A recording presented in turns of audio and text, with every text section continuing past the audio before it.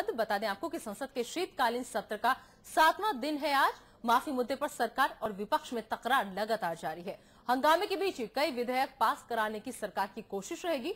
वित्त मंत्री अरुण जेटली के मंत्रालय से जुड़े विधेयक होंगे। मंत्री हरदीप सिंह पुरी और महेश शर्मा के मंत्रालयों के भी विधेयक राज्यसभा में भी माफ़ी मुद्दे पर विपक्ष के उग्र तेवर जारी रहेंगे। राज्यसभा चली तो कश्मीर में पत्थरबाजी पर गृह मंत्रालय जवाब देगा। दिल्ली में महिलाओं की सुरक्षा पर भी गृह मंत्रालय जवाब देगा। मनमोहन सिंह के इंटेग्रिटी मुद्दे पर राज्यसभा में पढ़ा जाएगा बयान। सूत्रों के हवाले से यह खबर है। राज्यसभा में पढ़े जाने वाले बयान को राज्यसभा एंडोर्स करेगा पूरा। प्रधानमंत्री नरेंद्र मोदी भी उस वक्त सदन में मौजूद रहेंगे। मोदी माफ़ी नहीं मांगेंगे, मगर इससे गतिरोध खत्म करना आसान होगा। सदन से एंडोर्स पर विपक्ष सम्मानजनक तरीके से खत्म कर पाएगा गतिरोध।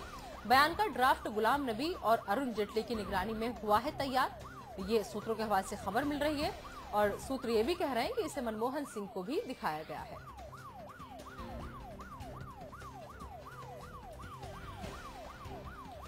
तो संसद के शीतकालीन सत्र का आज सातवां दिन है सरकार और विपक्ष के बीच पीएम मोदी की माफ़ी की मांग को लेकर तकरार जो है वो लगातार जारी है। आपको बता दें कि सरकार इसी दौरान कई विधेयक पास कराने की कोशिश करेगी। सरकार की कोशिश रहेगी कि हंगामा भले ही होता है लेकिन हंगामे के बीच कई विधेयक पास हो जाए। वित्त मंत्री अरुण जेटली के मंत्रालय से जुड़े विधेयक होंगे। मंत्री हरदीप सिंह पुरी और महेश शर्मा के मंत्रालय के भी विधेयक होंगे। तो राज्यसभा में भी माफ़ी मुद्दे पर विपक्ष के उग्र तेवर जारी रहेंगे। राज्यसभा चली तो कश्मीर में पत्थरबाजी पर गृह मंत्रालय जवाब देगा।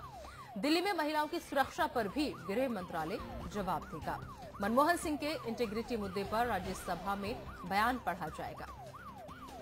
इस खबर पर ज़्यादा बातचीत के लिए रुक करेंगे हमारे संवाददाता संतोष पाठक जो इस वक्त हमारे साथ फ़ोन लाइन पर जुड़ चुके हैं। संतोष, संसद के शीतकालीन सत्र का आज सातवां दिन है। क्या लगता है, जो तकरार लगातार सरकार और विपक्ष के बीच है, पीएम मोदी की माफ़ी की मांग को लेकर वो आज भी जारी रहेगी? देखिए, बिल्कुल ये तकरार जारी ज़रूर रहेगी, लेकिन जो सूत्र बता रहे हैं कि शायद समझौते का जो कोई फॉर्मूला है, वो एक तैयार हुआ है।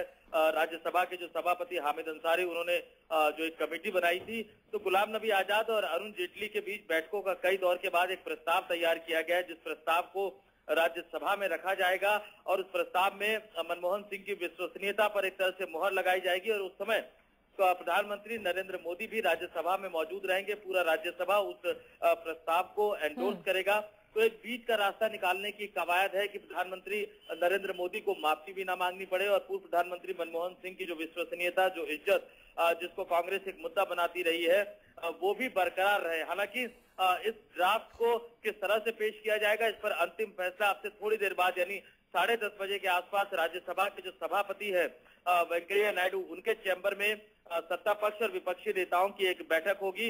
उसमें समझौते के इस फॉर्मूले पर अंतिम मुहर लगने की संभावना है। जी। जी, चलिए संतोष इस तमाम जानकारी के लिए आपका शुक्रिया।